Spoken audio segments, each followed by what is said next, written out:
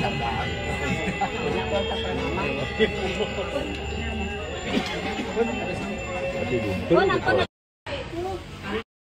going to knock you off balance when he hits you, right? Absolutely.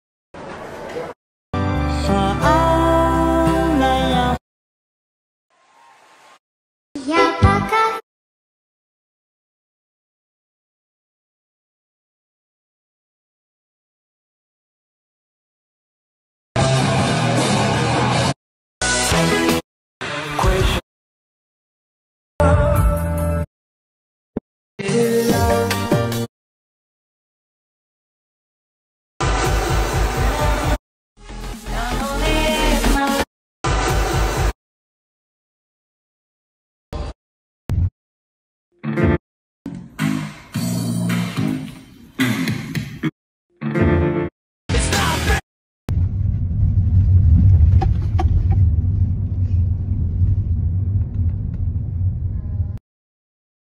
put a